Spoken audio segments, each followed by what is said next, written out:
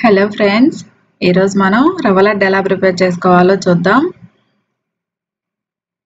ఉప్మా రవ్వ నెయ్యి షుగర్ యాలకుల పొడి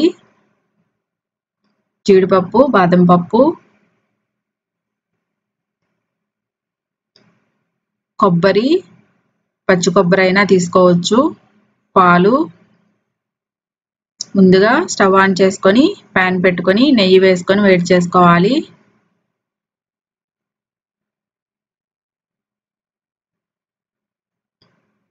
ఇప్పుడు రవ్వ పోసుకొని స్టవ్ని మీడియం ఫ్లేమ్లో పెట్టుకొని ఒక ఐదు నిమిషాలు ఫ్రై చేసుకోవాలి.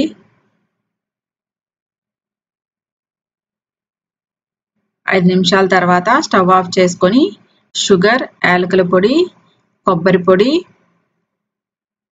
కొద్దిగా నెయ్యి మిక్సీ వేసి పెట్టుకున్న జీడిపప్పు బాదం పప్పు పౌడర్ని ఇందులో వేసుకొని బాగా మిక్స్ చేసుకోవాలి. జీడిపప్పు బాదం పప్పుని చిన్న చిన్న ముక్కలుగా కట్ చేసుకుని అయినా వేసుకోవచ్చు.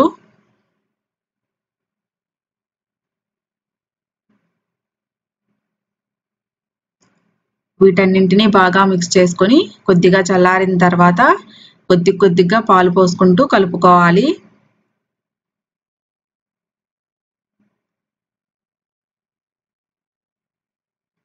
లడ్డు చుట్టుకోవటానికి వీలయ్యేటట్లుగా చూసుకొని కొద్ది కొద్దిగా పాలు యాడ్ చేసుకోవాలి.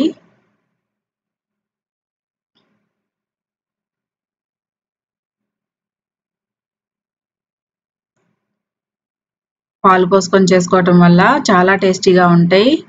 చూడండి ఈ విధంగా చిన్న చిన్న ఉండలుగా చేసుకొని ప్లేట్లోకి తీసుకుందాం. కొబ్బరి డ్రై ఫ్రూట్స్ వేసాం కదా చాలా టేస్టీగా ఉంటాయి. ఒక కప్పు రవ్వకి హాఫ్ కప్పు షుగర్ తీసుకోవచ్చు. తీపి ఎక్కువగా తినే వాళ్ళైతే ఒక కప్పుకి ఒక కప్పు షుగర్ తీసుకోండి. చాలా టేస్టీగా ఉంటాయి. మీరు కూడా ఒకసారి ట్రై చేసి టేస్ట్ చేసి చూడండి.